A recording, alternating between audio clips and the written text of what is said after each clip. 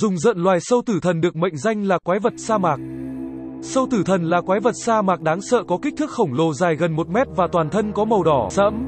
Một trong những khả năng đặc biệt nhất của sâu tử thần là phóng luồng điện cực mạnh đủ giết chết con mồi từ xa. Tương truyền, bên dưới sa mạc Gobi, vùng hoang mạc lớn tại châu Á, tồn tại loài sâu tử thần cực đáng sợ. Quái vật sa mạc này gieo rắc nỗi ám ảnh kinh hoàng cho người dân thời xưa. Những câu chuyện về sâu tử thần được ghi chép lần đầu tiên kể từ những năm 1920. Theo một số giai thoại, truyền thuyết sâu tử thần có kích thước siêu lớn với chiều dài lên tới gần 1 mét. Toàn thân quái vật sa mà có một màu đỏ sẫm. Do vậy, mỗi khi xuất hiện, sâu tử thần vô cùng nổi bật so với môi trường xung quanh. Sâu tử thần có lớp da dày và cứng.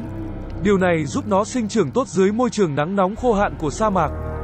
Quái vật xa mà có những chiếc răng sắc nhọn trong miệng để cắn xé con mồi. Khả năng giết chết con mồi của sâu tử thần khiến nhiều người khiếp sợ.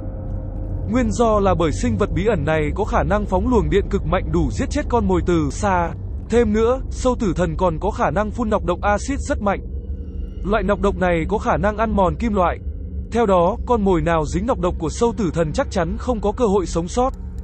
Những câu chuyện ly kỳ về loài sâu tử thần ở sa mạc Gobi thu hút sự quan tâm của nhiều nhà thám, hiểm, chuyên gia khoa học.